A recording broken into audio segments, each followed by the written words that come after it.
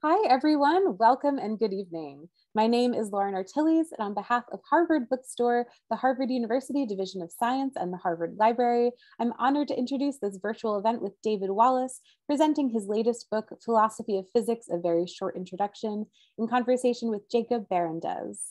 I hope everyone's week is off to a good, slightly late start. Thank you so much for joining us virtually tonight. Today's event is the latest installment in our Harvard Science Book Talk series, which works to bring the authors of recently published science literature to our Cambridge community and beyond. Our fantastic fall schedule is off to a great start. Coming up in the series on Wednesday, October 20th, we'll host cosmologist Stephon Alexander for his new book, Fear of a Black Universe, An Outsider's Guide to the Future of Physics.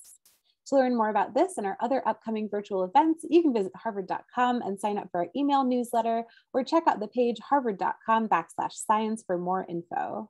We also have a Science Research Public Lectures YouTube channel. We can view previous talks that you might have missed, and I'll be sharing the link to that in the chat shortly. Tonight's discussion will conclude with some time for your questions. If you have a question for our authors at any time during the talk, just click on the Q&A button on your screen and we'll get through as many as time allows. In the chat, I'll be posting a link to purchase Philosophy of Physics on harvard.com, as well as a link to donate in support of this series and our store.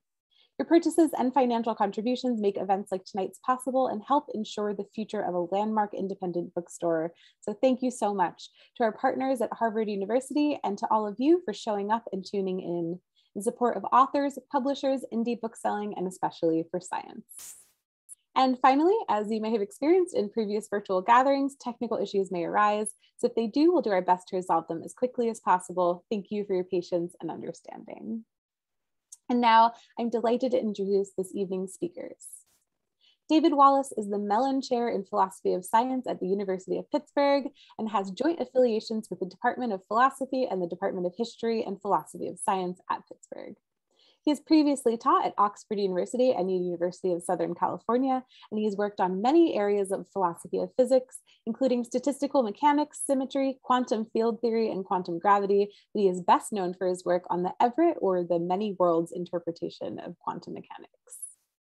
Jacob Barandes is a theoretical physicist and philosopher of science at Harvard University. He currently serves as lecturer and co-director of graduate studies for the physics PhD program at Harvard, where he teaches courses on the fundamentals of theoretical physics, classical electromagnetism, general relativity, and the history and philosophy of quantum mechanics. He is also a faculty affiliate of the Harvard Black Hole Initiative. His research publications span the foundations of quantum theory, philosophy of science, and quantum field theory. And he also organizes an international workshop series on physics and philosophy. Tonight, they'll be discussing David's latest book, Philosophy of Physics, part of Oxford University Press's very short introduction series. And without further ado, I'm excited to turn things over to Jacob, who'll give us a bit of background on this project and David's work. The digital podium is all yours, Jacob. Thanks so much, Lauren, and thanks to the Harvard Bookstore and everyone involved with the Science Book Talk series for all your hard work making events like this possible. Thanks also to David Wallace for taking the time to talk with all of us. I'm really looking forward to this discussion.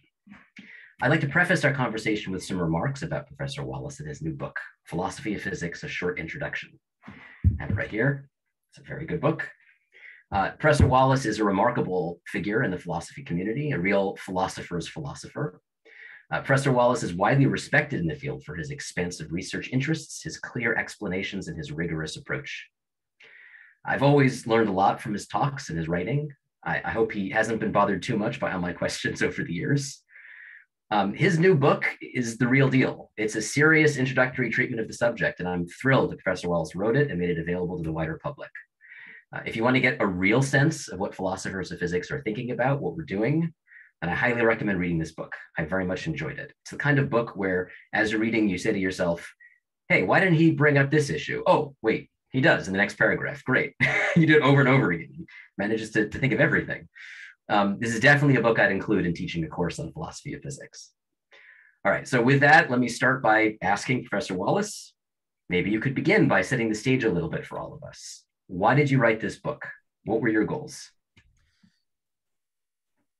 I mean, the short, the short and immediate answer is is always the, the, the you, you, see a gap you see you see a gap, a gap and you wish to fill it. I, think there's been a lot of um, if you look at introductions you can find to philosophy of physics. Um, you can find a bunch of books um, that very much start as a philosopher's route and start with sort of classical physics and classic issues in physics, and maybe at the end of the book, just about make their way into more contemporary physics.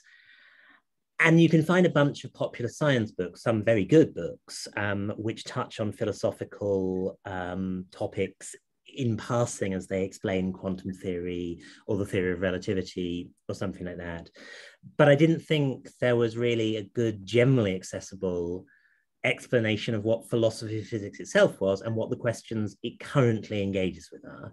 I mean, those questions by and large are connected with some of the more cutting edge bits physics, um, with quantum theory, with statistical mechanics and thermal physics, um, with special and general relativity, with the kind of things that um, are the bread and butter of contemporary theoretical physics. Uh, and I think if you don't present philosophy of physics in a way that really showcases the way it engages with these contemporary pieces of physics, you miss the kind of beating heart of the subject. Uh, equally, I think while there are wonderful popular presentations of quantum mechanics, of relativity, to some extent even of thermal physics, um, they they tend to kind of downplay what's philosophically and conceptually contentious about those frameworks. You, you can read these accounts, and you know, with the partial exception of quantum theory, you can get the impression that, of course, in the historical development of these subjects, there were conceptual puzzles. Thank goodness we've solved them all. Um, and, and, and I wanted to write something that uh, that got across to people the fact that these sort of deep conceptual controversies are, are still there, they're still important. Um, they're things that, um, that, that, that, can inform and be informed by current physics. They're things that should be interesting to practitioners of the subject and not just to sort of historians or lay observers. That's great. It's good lead into my next question. So, um, what exactly is philosophy of physics? Is it is it a part of philosophy or philosophy of science? Is it a part of physics? Is it something else entirely? Well, as I say in the book, um, then even asking that question two or three hundred years ago wouldn't have made sense. I mean, uh, I, think of philosophy as what you, as what you do when you're confused and when you haven't got the subject clear enough that you've got um, a clear and agreed methodology. And so, you know, 300 years ago, uh, philosophy was physics and physics was philosophy. And after Galileo, after Newton, after the developments of the 17th century, then you start seeing a delineated theory of physics.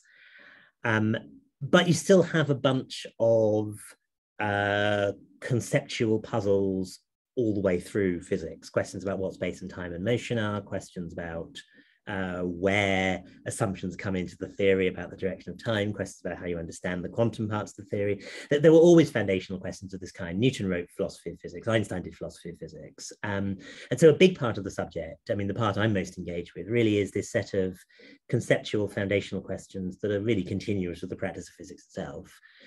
Um, in addition to that, um, know, that's the sense, I suppose, in which philosophy of physics is kind of like physics. Philosophy of physics is kind of like philosophy of science because um, good philosophy of science has to engage with the details of the science.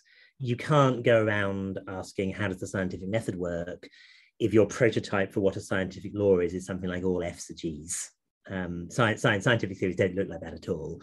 Um, you need to you need to keep up with examples from science to to do good philosophy of science and thirdly, um, if you want to do core philosophy, if you want to ask questions about metaphysics, questions about epistemology, those questions kind of started off um, as well, as I say, as as indistinguishable from um, from physics questions, and and there's still been a tradition of answering those questions that regards them as being sort of wholly owned and operated by philosophy. But most philosophers would recognise that if we want to do metaphysics and understand the deep structure of the world, then we're going to need to be informed by what's going on in physics. Um, so, and the sort of common thread there is philosophy of physics is sitting between physics and the philosophy of science and general philosophy, and um, the, the discipline is is often about bringing tools and ideas from one of those areas um, where they can be useful in another of them. Thanks. So you mentioned uh, metaphysics and epistemology. Just you know, for for the benefit of everybody who's here, what do these mean and how are they related to physics? why are they uh, something that a philosopher of physics would care about?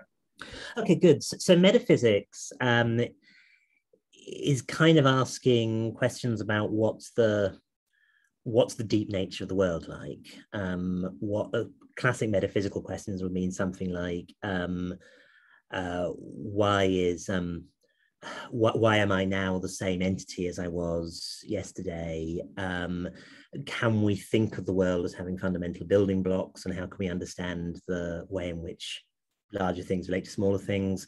What are the ways in which mathematics connects to the description of reality? And, and a whole bunch of questions of this kind. What's the nature of causation? Um, a lot of those questions sound half like physics, and they are half like physics. Um, there's a style of doing metaphysics that doesn't pay that much attention to what's in physics. And I think that style, if it made sense 300 years ago, is, is pretty questionable now. There's a style of doing or, not doing metaphysics that says this is a this is a waste of time and you should just carry on doing physics. I, I think that fails to recognize that there are certain sorts of questions that physics is never quite directly going to answer by itself. Uh, I think good metaphysics is um, is about asking questions about the, the structure of the world on many levels and, and on many and a level of generality that's broader than science but informed by science. And epistemology um, literally again means our theory of knowledge, how we come to learn about the world. Um, and some aspects of that are connected with very sort of if you like ordinary person level questions like that like how um uh how do i think about the evidence of my senses to what extent can i know something through the testimony of others is there a, a fundamental difference between me uh, knowing what's on the wall of your room because you've told me versus because I've seen it across your Zoom channel versus because I'm standing in your room right now and looking at them. Um, but a lot of our theory of knowledge these days is our theory of scientific knowledge. So epistemology sort of flows into the method of science. And there's been a tradition right through the 20th century of thinking that um, there's going to be no principal distinction between understanding epistemology and understanding the scientific method. Thanks a lot. Um, so maybe you could paint a, a, a, different picture. What is it that philosophers of physics actually do? Like, what does your working day look like? I, I imagine a lot of people imagine that you're sitting in an armchair just just thinking really hard about things. But like, what is it? What is it that philosophers of physics do every day? Yeah. I mean, there's a, there's a bit of the sitting in armchairs, although I tend to walk around when I'm thinking. Um, so you i mean think, thinking specifically of the sort of research aspect of what you do with your time as, as as you know quite a lot of what an academic is doing is a bunch is a bunch of things that's pretty much the same from philosophy to history to physics. But um, when when i get a day that's a research day um, it involves reading a lot. Um, to some extent it involves calculating. Um, yeah I, I spend a lot less time doing calculational mathematics than a theoretical physicist would do, but I don't I don't spend no time doing it a lot of it involves writing. I mean, the the the stereotype of the philosopher who sits in the armchair and thinks um, these days they tend to pull the armchair up to a computer and you tend to you tend to think through typing to a large extent you don't tend to know reliably what your um, uh, what your argument's going to be until you've you've tried to put in writing and a huge amount of what i spend my time doing is talking to other people whether that means um, by email or um, through Zoom conversations, or you know, increasingly as the pandemic abates, actually in person. Um, you know, the, a subject like this, if it's interdisciplinary, requires you to spend a lot of time uh, comparing notes with other people, um, finding people in physics who are interested in these topics and seeing how their perspective on it compares to yours, asking just technical, silly questions, um, you know, like, uh, you know, you, you you've understood the subject as, as well as you can through um, textbook and review article level understanding and reading about it. And, and you need that level of understanding to ask good questions but you'll never fully understand something just on the basis of that. You need to actually talk to experts and engage with what they think so so a, a random one of my days is going to be kind of mixture of reading and learning um, presenting my ideas to others and, and hearing about their ideas um, uh, scribbling things on a whiteboard or on a, a, notepad and trying to calculate, think things through, trying to write up arguments and see where they go wrong, and a certain amount of just sitting in the armchair and thinking. Uh, I, I, I, should just just as a as, an important uh, uh, note to everybody, I don't recommend uh, pushing an armchair up to a computer. It's not not good for the posture. It's not, not good. Um, so you mentioned mathematics. Uh, what what role does mathematics play in the work of a philosopher of physics? How does that compare with maybe other areas of philosophy? Um, I, I, just say, it, you know, in my experience, philosophers of physics uh, do a tremendous amount of mathematics. I mean, we're here to talk about um, your more recent book, but uh, your earlier book, uh, which I also highly recommend, The Emergent Multiverse, has a tremendous amount of very rigorous mathematics in it. Hmm. Um, so maybe talk a little bit about that, but I, maybe more broadly, what kinds of skills and interests uh, would someone need to pursue an academic career in philosophy of physics? I, I happen to know that there are some people in the audience who, who are interested. So I'd be curious if you're willing to share a little about that. Sure. I, I mean, let me ask both, answer both of those separately, or they, they kind of overlap.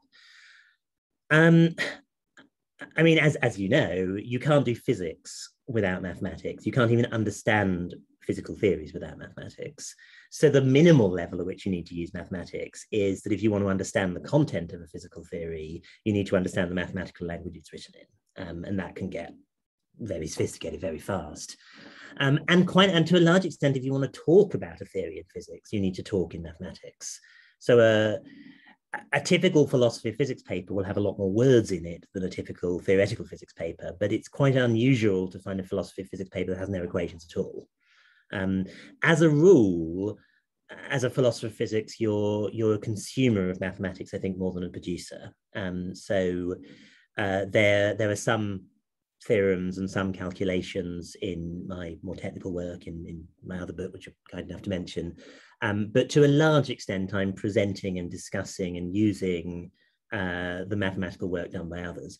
I, I, suppose one one difference, another difference between the sort of paper even quite a technical philosopher of physics might write and, and a, a physics paper is in in a physics paper, very often the words are a sort of not not that much more than a decoration to the um, the, the, the, the carrying out of the argument in mathematics. I, have had conversations with with uh, physicists who have discovered that some philosopher of physics has close read some of the words they put in their paper and they're kind of horrified because they, they say, like, I kind of bashed that bit up quite late. What I actually wanted to present was the calculation. Um, that's really not the case in a, a philosophy of physics paper. The, the words and, and, the, and, the, and the verbal argument is carrying a lot of what you're doing, but you often still still need the, the math to interface with what's what the actual content of the theory is. And, and sometimes you're actually proving a theorem. Sometimes you're actually, you, you need some consequence of a theory. And the way you extract the consequence of the theory is proving something about it or calculating something in it. As far as the skill set you need, um, so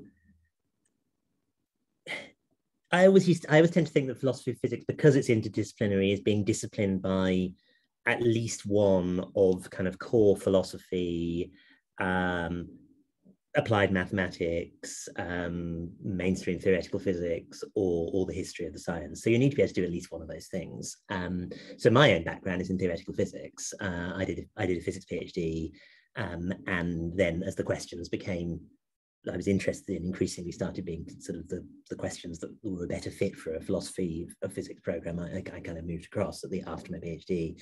Other people come in from a pure math background.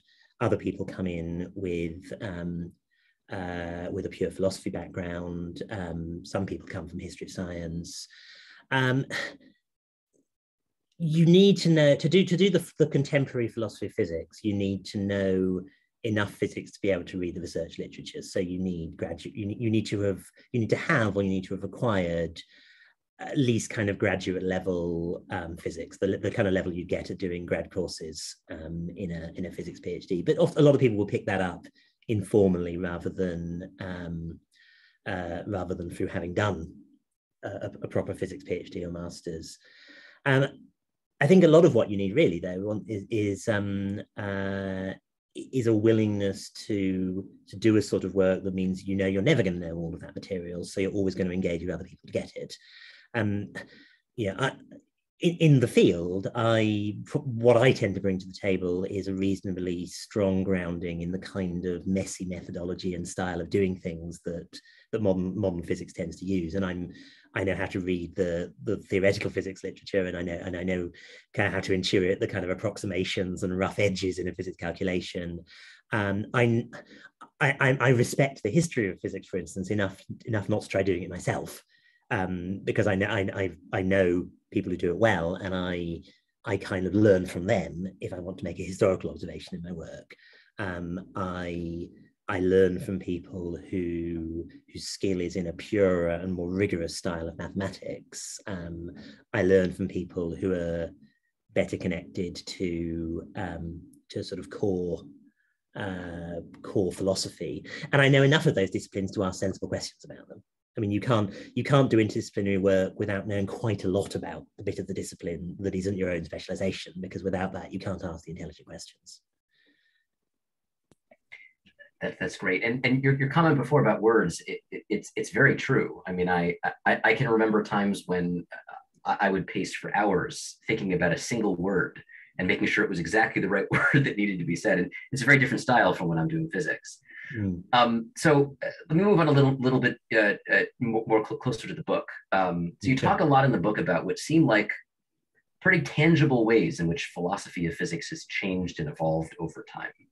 Uh, I know I often get this question a lot. I'm interested to hear your thoughts on it. Uh, what does it mean for any discipline in philosophy to make progress? Good so the normal line I have about this, although in honesty it's not a super good fit to philosophy of physics, is that the way you get really major progress in philosophy is that you stop calling the area in question um, philosophy. It goes back to my comment about about physics breaking off from philosophy. So, um, you know, do a, a, classic philosophical question, for instance, is what's the nature of matter? Um, not just in the sort of ab- not not in some very abstracted uh, what could it possibly be for them? Matter but you know is matter made out of particles or not for instance? That was a that was a philosophical question in antiquity. Um, it was a philosophical question. We made such fantastic strides in answering that we've stopped calling the area of philosophy that studied that question philosophy. Um, you know, mathematics uh, is a, is a big piece of philosophical pro- progress from antiquity. Physics is a big piece of philosophical progress from the 17th century. Uh, evolutionary biology is a big piece of philosophical progress from the 19th century. Computer science is a big philosoph- piece of philosophical progress in the 20th century, and, and, and, and so on. So that, that, that's the really, that's the kind of big picture way in which philosophy makes profound progress. Um, at the smaller scale, I think philosophical progress generally comes from clarity so um, one um, one understands what's at stake in a in a debate more, and one knows what presuppositions are relevant for um, uh, for certain points of view. So to take a, an intractable example, think about the problem of free will. Um, have we made progress on the problem of free will in philosophy? Well, no, in the sense that we haven't moved from a lack of consensus to a consensus. Um, yes, in the sense that the landscape of, of options there is is vastly better understood. The, the kind of the versions of say the compatibilist position that free will is not fundamentally in conflict with a deterministic universe. That that's something we just understand way better than we understood in the 18th or 19th century, and it's something again which we understand in much better dialogue with cognitive science uh, and physics than we did in the 19th century. In philosophy of physics, particularly because it's so interdisciplinary, um, I think it's um, it's hard to completely separate what counts as progress here from what counts as progress in the the more extremely conceptual ends of, of physics. I, I think the um, the way we talk about quantum mechanics in in, in advanced textbooks these days, in discussions of the quantum classical transition these days, in the way in which people in string theory or quantum field theory talk about um, about measurement these days. Those ways of doing quantum mechanics are noticeably different and I think more sophisticated and informed than they were in, say, the 1970s. Um, and while I wouldn't want to say that uh, philosophy of physics defined institutionally has been the major driver of those things. I think there's a continuity and a, and a flow there. So the, the interdisciplinary task of understanding quantum mechanics has advanced really very substantially in, in the last 30 years. And you see those advances in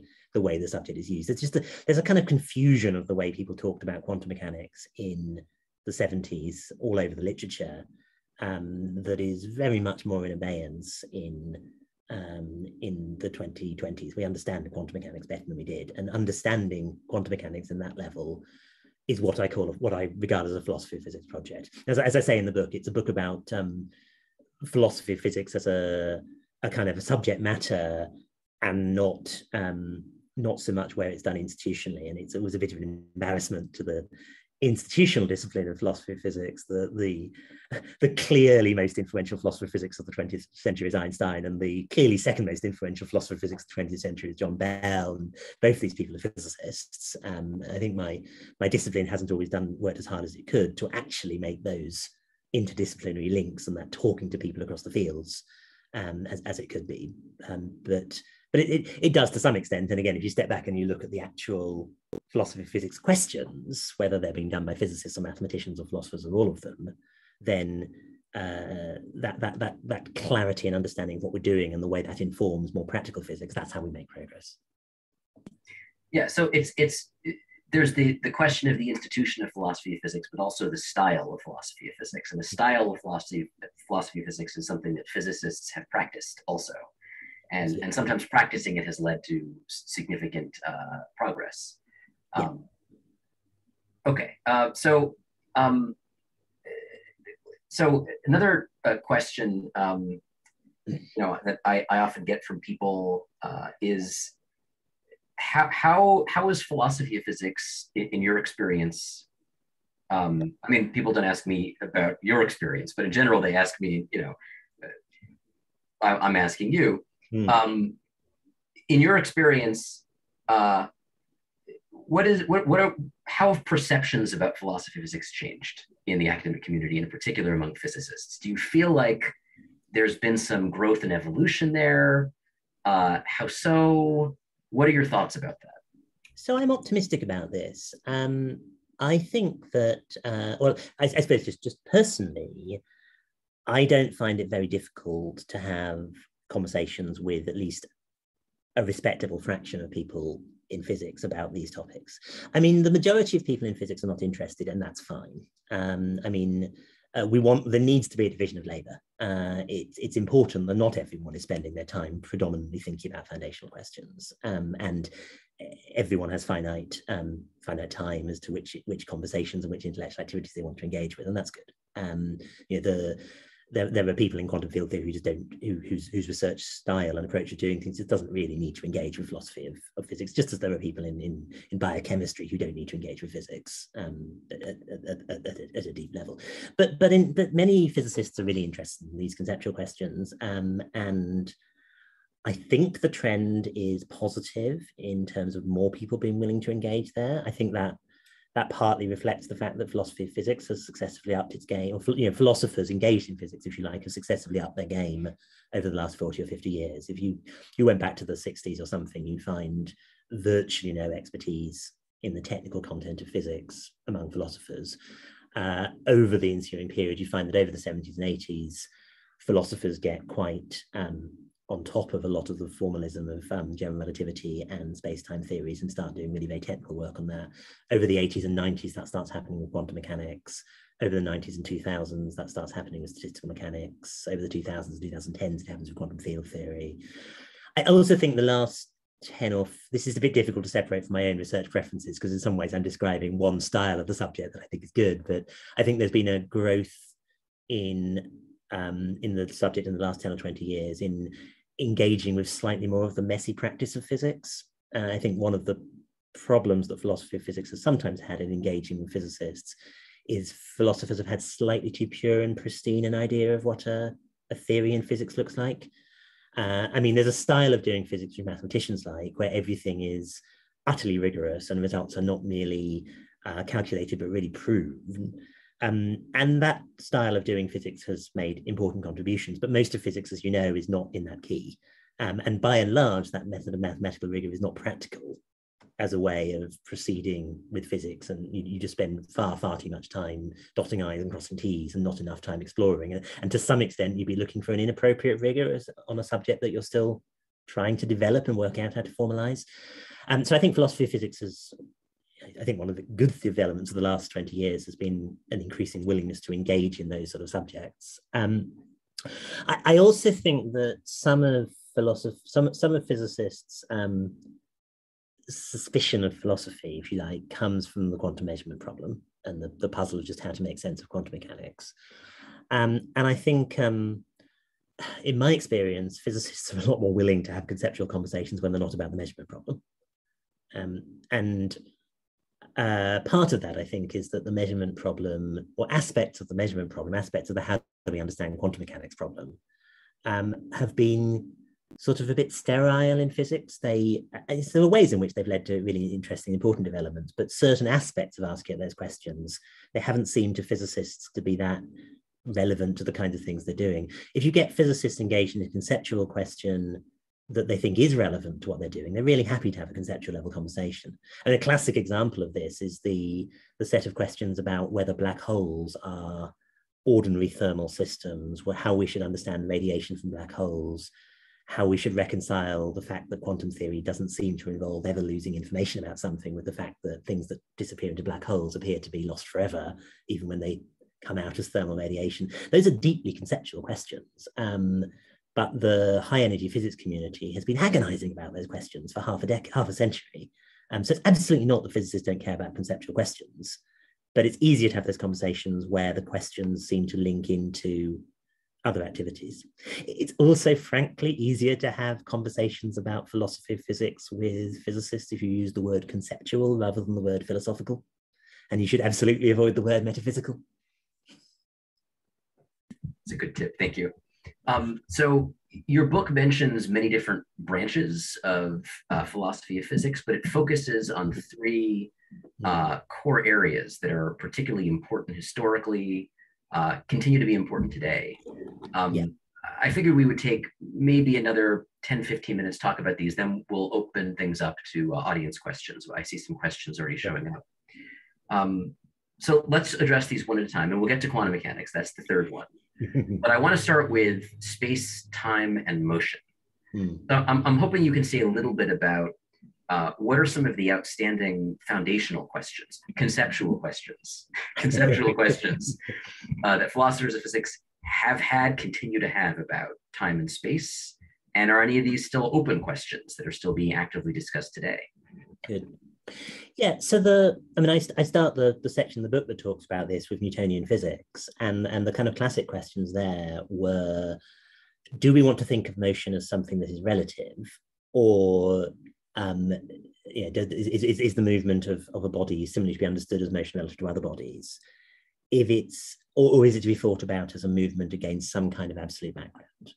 Um, and and the nature of the debate in the 17th century was sort of very much um, well uh, the um, we, we, we, we, we have a problem conceptually with the idea that motion should be anything other than relative motion, but relative motion just doesn't seem adequate for the science we want to do. We want to say that objects continue in a straight line at constant speed unless acted on by a force. Um, if motion's relative, then something's moving in a straight line with respect to some objects and not with other objects. Um, so trying to get a trying to get a clear notion of what motion was and and what and and, and how to think about um, about relative versus absolute notions of motion was really important to 17th century uh, mechanics centuries and and and this this might seem more of a surprise to, to people but it, the, the, those questions haven't really gone away. Um, the, the, popular idea of this is that sort of the theory of relativity in a way um, told us that yes all motion is relative and that was the end of the story. But as, as you know of course that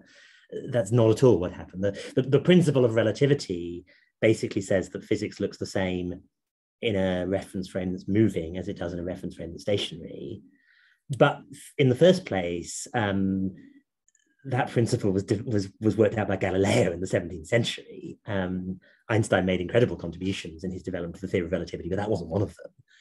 Um, and secondly, the very, the very notion of saying, well, physics in a moving reference frame um, is different from physics in a stationary reference frame, that um, that question, uh, that way of putting it, kind of relies on this idea of what a reference frame really is. And again, you can't simply reduce that to um, some arrangement of matter because there's no arrangement of matter that is itself not acted on by other forces. So trying to understand the nature of, of motion here is really still playing a part in the foundations of, um, of special relativity. You can see versions of these questions transformed, but not not unchanged, not not not not not transformed out of recognition in thinking about about the what's really going on in the structure of general relativity. You can even see it in, in some of the foundational questions in quantum gravity.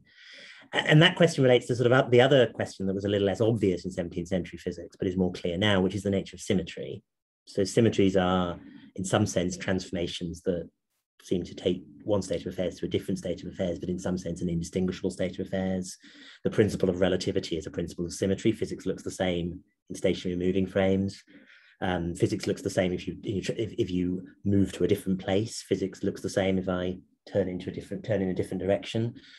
Um, and symmetry is up there with quantum mechanics and relativity as the core unifying, you know, one of the core unifying principles of the 20th century revolutions in, in physics. Um, but symmetry remains sort of deeply puzzling in lots, lots of ways. Um, and you know, phys um, physicists puzzle about symmetry.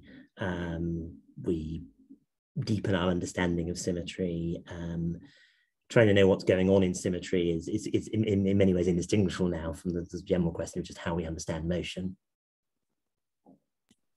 Uh, you say at one point in your book, um, I think this is a, a, direct quotation. You, you say, hardly anyone really thinks in four dimensions.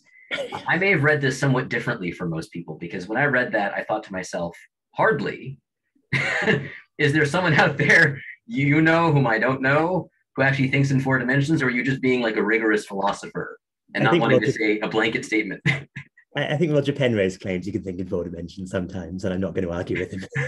okay, that's a fair point. I know, um, I, I, know, I know mathematicians who will sometimes say that you know, they'll use certain sorts of um, ways of visualizing four dimensions. They'll, they'll try to borrow time as a way of visualizing a, an object change. You know, if you look, if you look at an object in a different time, is a kind of surrogate for looking for looking at different three dimensional cross sections. Um, but I, I think I, mean, I, think this again might be a quote from Penrose, something some kind. You know, maybe maybe you can maybe there are ways of helping yourself think in four dimensions, but in doing physics, we need to be able to think in six times 10 to the power 23 dimensions, and no one can do that. So at some point, you're always going to have to stop doing that. That's a fair point. Um, so later in the book, you talk about statistical mechanics, but before I get to statistical mechanics specifically, um, you, you, know, before we get to statistical mechanics specifically, mm. you talk about some more primordial concepts that play a very important role in statistical mechanics, and that our attempts to understand statistical mechanics have, have, have influenced right? our understanding of probability mm. and our understanding of, on one side, reductionism, and the other side, emergence. Yeah. You also talk about this notion of autonomous laws. Mm. I'm wondering if you could talk a little bit about these concepts because they're very tricky. Uh, yeah. So, uh, and and some of them are maybe more familiar to people, like probability, or at least they feel more familiar to people. When I teach classes that involve probability, I always start by asking students to define what a probability is, and it's always a lot of fun. Yeah. Um, but uh, so maybe you could you could talk a little bit about these concepts, and maybe especially the ones like reductionism and emergence and autonomous laws that might be less familiar. Sure. Sure. Well, let me talk quickly about probability and then a bit more about emergence. I mean, probability is one of these classic concepts that we know how to use but can't explain what it is. Um, uh, I used to, when, when, I was at Oxford, um, you, you, you, have interviews for students um, to decide who, who gets undergraduate places, and that's actually a faculty job in the UK. And one of the questions I used to ask people was, I, I had two, I had um, I had two dice. Uh, I had a die, and I asked, "What's the probability of getting six if I roll the dice?" And of course, it's an extremely easy question to answer. And then I asked them what the statement meant. Um, and I'm not expecting an, a, a, correct answer because there isn't really any consensus of a correct answer. But what you find is people will quickly try things like, well, there are six possible ways the die could have landed, which won't do. That does that, there are problems with that. Or if you roll the dice lots and lots of times, you go six about one sixth of the time, and there are problems with that.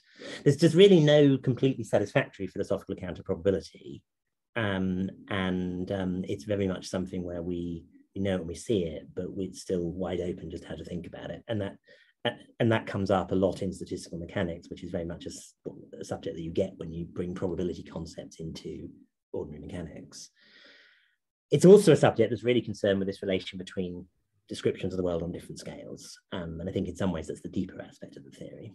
Um, the one of the really important things to understand about physics is we don't really have one theory of physics. We have thousands of theories of physics. We have uh, our, our theory of neutron decay and our theory of superconductors and our theory of plasmas in situations where you can neglect short distance interactions and our theories of plasmas in regimes where you can't do that and our understanding of copper and our understanding of the structure of the sun and, and so on. And we know a lot about how these subjects connect one to the other, but we very often know a lot more about how to describe the world at some level of description than we do um, about how that level of description relates to some lower level of description. So physicists often use the term phenomenological to describe situations where I've got an account of what something's doing that doesn't reduce to its microphysical constituents.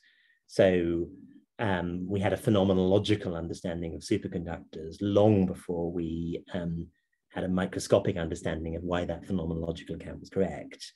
And there are still superconductors for which the phenomenological account works fine, but we don't really have a, a microphysical understanding of them. Um, so what we're really doing in physics is gaining evidence and information about the world at lots and lots of different scales, and then trying to see how the different levels of scales are stitched together. Um, and when when physicists in their more expansionist moments say that the standard model of particle physics underpins every experiment you could possibly do in physics, all of that has an enormous promissory note about being able to do all of those um, all of those stitchings together. I mean, if if my particular experiment was something like I'll take a glass and drop it on a hard floor and ask how many bits it breaks into, um, uh, good luck calculating that from the standard model of particle physics. So there's a lot of um, that, that doesn't mean that we don't understand anything about these connections. I think we understand a lot of them. We have a partial and deepening understanding of the connections. A fantastic amount of physics is about how to do these, um, how to how to understand these connections. And statistical mechanics, in many ways, is the language we use to do these connections. And, and then the puzzles about this, uh, the way I break it down in the book is sort of twofold. There are two funny things that happen when you go from lower level physics to higher level physics. One of the funny things that happens is probabilities turn up that goes back to the earlier comment. And the other, and I think deeper funny thing that happens is that um, processes develop an order in time. Uh, microscopic physics doesn't really care about the difference between the past and the future, but macroscopic physics really does. Um, there's a clear, if I, if I show you that video of the glass breaking, it's completely obvious in which direction I showed you the video. If I showed you a picture of a single ball bouncing, you'd have to pay a lot more attention to know in which direction the video was being played. And the only reason you could really tell was because the ball would gradually slow down. And that's really happening just because the the the pretense that there's only that the ball is a single indistinguishable, eh, you know, unbreakable particle stops working and the energy leaks out of the system. So so the philosophy of statistical mechanics is very much about, I think, how to understand these emergence relations, but how to understand them in a way that in particular allows us to understand the role that probability is playing and the way in which we get an irreversibility, a, a, a distinction in past and future. Thanks a lot. So um, we have just a little bit more time uh, before I want to turn to audience questions. Uh, so I, I, I, we couldn't miss the opportunity to talk a little bit about quantum mechanics and the foundations of quantum mechanics. Um, so you know, obviously we should talk about the measurement problem. It'd be great if you could give uh, a, a, nice explanation of the measurement problem. But I think, you know, as you as you pointed out, the measurement problem's been around a long time. I think a lot of people associate philosophy of physics with the measurement problem, in particular philosophy of quantum mechanics, the measurement problem. Mm. Uh, but of course, there are other conceptual problems in quantum mechanics that philosophers of physics think about and that physicists also think about. So I'm wondering if you could talk a little bit about the measurement problem specifically, but maybe also some of the broader uh, questions that are bothering people today about the foundations of quantum mechanics. Sure. I mean, may, there may be an interesting disagreement here. I mean, there's a certain sense in which I think that while there are other important problems in philosophy of quantum mechanics, you can't think about any of them without thinking about the measurement problem. Different and I'm anticipating the, what the measurement problem is here, but um, let's just say these are the, the there are different ways of understanding quantum theory so profound that they transform almost any specific question you might have about the foundations of quantum theory. Um, but that said, I mean, what, what, what is the measurement problem? Well, quantum mechanics, if you take it literally, seems to say that things can be in two places at the same time. It seems to say a particle can be here and there at the same time, or it could be doing two things at the same time. Maybe it says it's spinning to the left and spinning to the right at the same time, or it's going this way and that way at the same time. if quantum mechanics was decent enough to keep all of that confined to the microscopic, then we could just say that maybe the microscopic world is counterintuitive. And we need new language to describe it. But quantum mechanics itself seems to say that if you inter if you magnify the microscopic up to the macroscopic, you could do that by measurement, hence measurement problem, but you could also do it by any number of natural processes that, that don't happen in the lab, but still magnify small differences up into large consequences. What happens according to the theory is that the doing things, two things at the same time comes to infect the macroscopic. So if I have a measurement device that would point this way if the particle is here and that way if the particle is there, then if the particle is here and there at the same time, then the quantum theory says that the needle is going to point this way and this way at the same time. Um, and that's not just weird, that just seems pathological. That seems incompatible with our basic observations and basic sanity. Um, I mean, Schrodinger's extreme example is if you kill your cat, if the particle is here and not if it's there, in which case your cat is somehow alive and dead at the same time. So the the measurement problem is how do you make sense of quantum mechanics and how do you make sense of these situations? Um, some strategies to do that have involved trying to change the equations of quantum mechanics. Um, if the equations of quantum mechanics say that large objects can be in two places at the same time, so much the worse for the equations. Um, the problem with those strategies is that the equations of quantum mechanics are pretty damn well tested. Um, I often joke that philosophers like changing the physics, but physicists are a lot less keen. Um, you could change your, your attempt of how to interpret theories of this kind. You could, for instance, try to say that quantum theory isn't really about the way the world is at all. It's just about probabilities of things. Maybe it's probabilities of measurements. Um, making that work tends to run you either into hard into some hard mathematical no-go theorems about the impossibility of doing that, or into sort of quasi-philosophical problems about how if you ever try to take measurement as some primitive notion that's written into your theory, you just lose all, all ability to analyze the measurements we do in the lab as physical processes. Measure, measurement devices aren't found scattered across the desert by the Lord. They're, um, they're technical gadgets that we build using the tricks of quantum mechanics itself. Um, the way of thinking about the measurement problem I've worked most on goes back to Everett 50 years ago, which says take more seriously this idea that things are doing two things at the same time. Ask yourself whether that's really contradicted by your observations. Um, and if and and in, in asking that, don't don't don't consult your intuitions as to what you'd observe. Consult physics. And what physics says is, if I were to look at a cat that's alive and dead at the same time, I wouldn't see some weird indefinite cat. I would myself at the same time see a live cat and a dead cat. And if I told you about the result, you would at the same time hear me saying a live cat and hear me saying a dead cat. And if you put all those things together, you start getting, there's, there's, more to say than I have time in this moment, but you start getting a picture where um, the world as a whole is doing multiple things at the same time. And, and if you try to understand what that says, it leads you to the sort of many worlds picture where you know, we, we, we just take literally that description of many things happening at the same time and we realize what it's describing to us is many classical goings on at the same time, not interacting with each other very much. And that's kind of what a world is. It's great. So we have a couple of audience questions and we have about 10 minutes. I want to make sure we get to them. Um, so uh, I'm going to ask them in no particular order. Uh, let me start with, uh, okay, this is a very good one. So there's a question for either slash both speakers. Uh, this is from uh, an experimental condensed matter physicist uh, who writes, I agree that philosophers of physics should keep up with developments in physics, but how and to what extent do you think experimentalists should incorporate philosophy of physics into their work?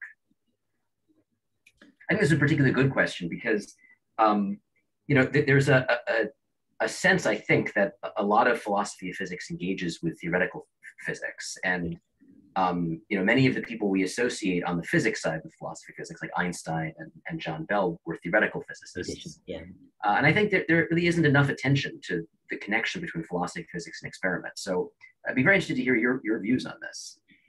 Yeah, it's, it's a great question. Um, and I'm not totally sure I know the answer. I mean, to some extent, of course, once you're once you're in the process of doing your experimental work, then um, the problem is defined in a sufficiently sharp way that probably the conceptual foundations aren't, aren't so relevant.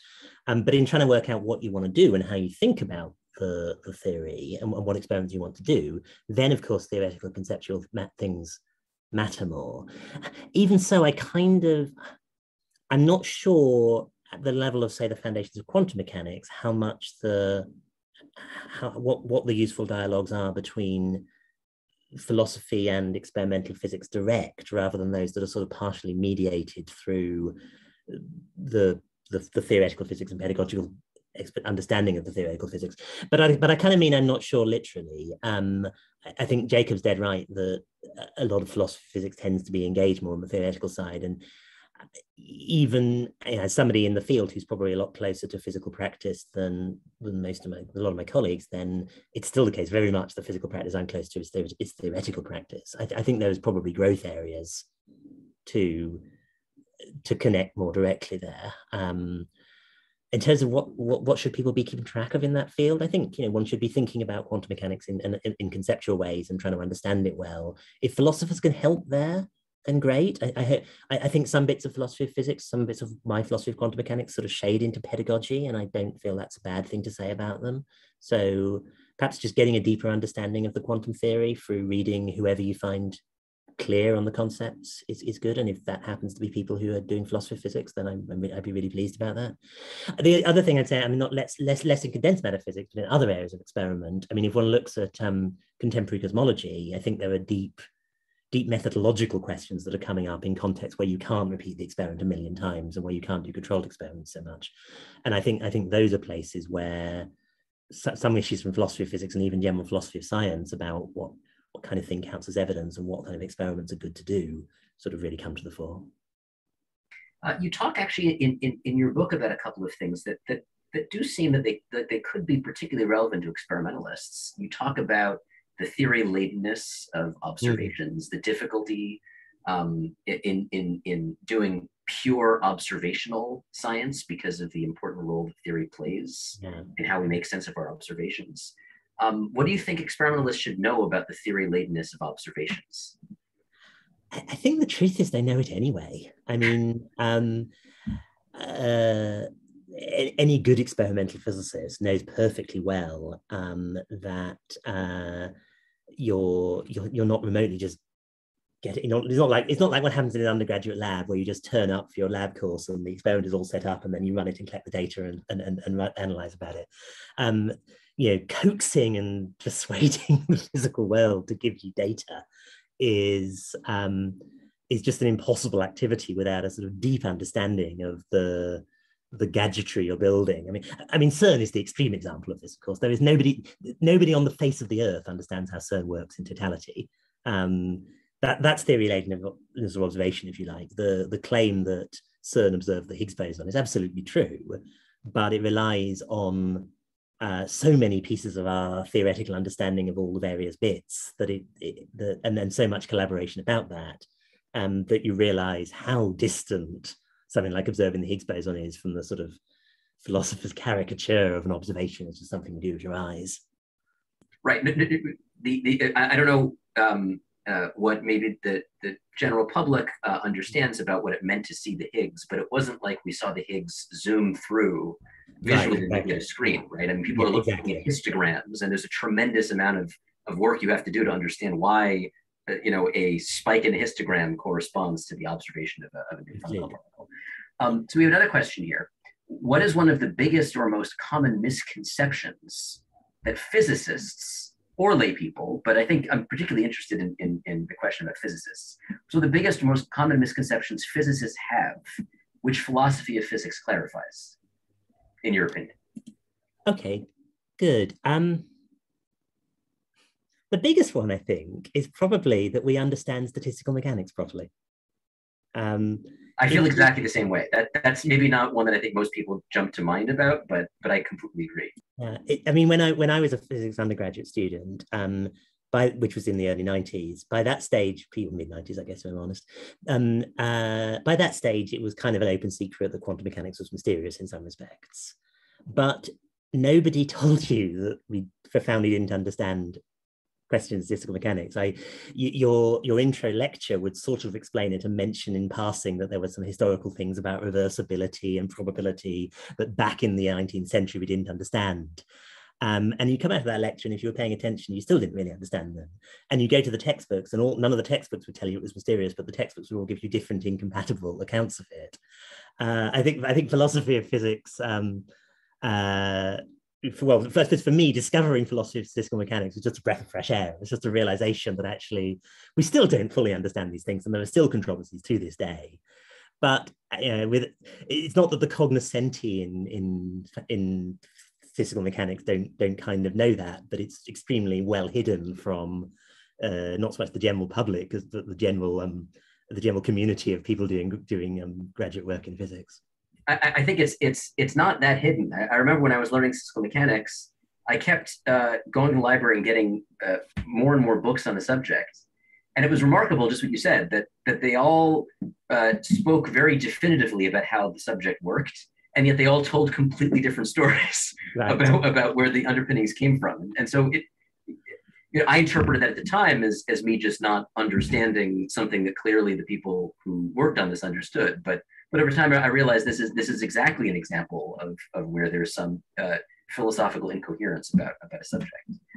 Um, so we have a couple more questions. Uh, we have three more minutes. I want to see how many we can get to. Um, uh, oh, so this is a this is a great one. Uh, what questions are you working on now? Great. Um, I, I, think a lot about statistical mechanics and the direction of time at the moment. Um, I've been thinking quite a lot about symmetry. Um, and in particular, I've been thinking about how we understand symmetry when we realize that the physical system we're considering usually isn't the universe. Philosophers of physics have a bit of a bad habit of always thinking about the whole universe. Uh, I've been trying to think about subsystems and how we think about what isolated subsystems are. Um, I'm also interested um, a lot at the moment in questions about how black holes evaporate and um, trying to almost do semi-pedagogical work and getting just clear on how the what, what what the form of the argument is and which which bits of the story we understand solidly and which bits are still kind of speculative. It'd be great to probe all of those, in particular black hole evaporation, which I'm sure some of the people here have heard about, but it would be great to go in more depth. We don't have the time. Um, so we, we I think we have maybe time for one more question. Uh, let me ask this one. Um, so this question is, is the probability, so in your opinion, is the probability in quantum mechanics uh, inherent or could we someday have a non-probabilistic understanding in the same way that probabilities in the macro world tend to converge to zero or one as we get more information? Good. Okay. Um, this very much depends on your interpretation of quantum mechanics. Um, my subjective judgment is that it is highly unlikely that we will find a sort of classical deterministic theory that underlies quantum mechanics. I think there are there are deep reasons to think that that's not going to happen. It's not like I can't prove it, um, but I can, t- I can I can prove that that theory will be pathological in a number of ways that I think is are very unlikely to be realized. Um, there's a different sense, I think, in which quantum mechanics does become fundamentally non-probabilistic, which is that I think the probabilities in quantum mechanics only arise in macroscopic contexts and they only arise approximately. I think the underlying mathematics of quantum mechanics is not exactly probabilistic. Um, I think the best the best sort of verbal way of describing it is as a sort of um, uh, a, a, branching of, um, of, of, of, physical goings on, and that but that branching structure looks like probability um, only uh, only approximately. So there's a sense in which quantum mechanics um, understood literally, understood in the many worlds way I like, does tell us that the world is not fundamentally probabilistic, but it doesn't, but not in the way we thought, not in the way, not in the way of understanding the probabilities as simply a lack of a lack of information. You know, the weird thing about probability in in many worlds quantum mechanics is that uh, you could be God, you could know everything, literally everything about the third person description of the world, and yet you couldn't know which of two outcomes was going to happen. You'd have to you have to be situated in the world for that to be a meaningful question. And if God is standing outside the world, then God can't answer that. So, so, the, so, so I mean, in, in a sense, probability is a good example of generally what physics has done for philosophy problems. It's it, it's broadened our imaginations and showed us that there were ways ways of resolving these conceptual things that hadn't occurred to us until the world gave us a hint. Um, so we're just uh, just about out of time. I wanted to give you the last word. Uh, do you have any parting thoughts or words you want to share with everybody?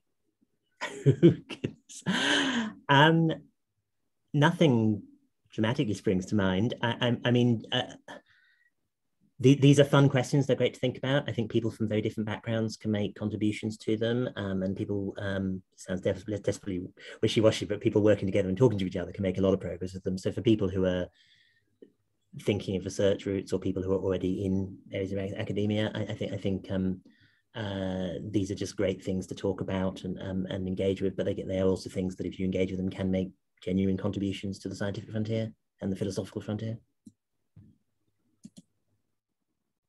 Great. All right. So I think we're just out of time. I want to thank uh, Professor Wallace again for spending the time talking with all of us. I want to thank everybody who was here in attendance. I want to thank everybody for your amazing questions. I'm sorry we weren't able to get to everybody's questions.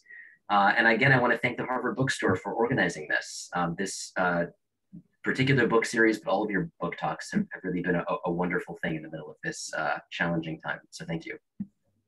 Thank you so much. Um, yeah, I just want to echo that. Thank you, David. Thank you, both of you, for this fantastic conversation. And thank you for all of your thoughtful questions, audience, and for spending your evening with us. Um, I just shared the link again in the chat to purchase Philosophy of Physics on harvard.com, or you can just go directly to harvard.com and search for it there.